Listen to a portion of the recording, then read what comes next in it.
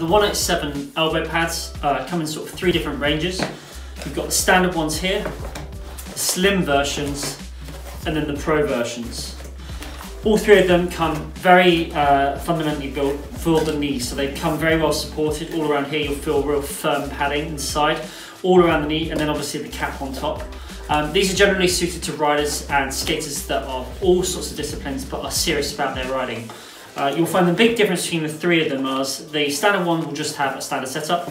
This is very similar as a slim. The only difference is it's a bit lighter. Uh, so if you need a little bit more flexibility, a little more, less more, less of a bulkier feel on the ride, then this is suited.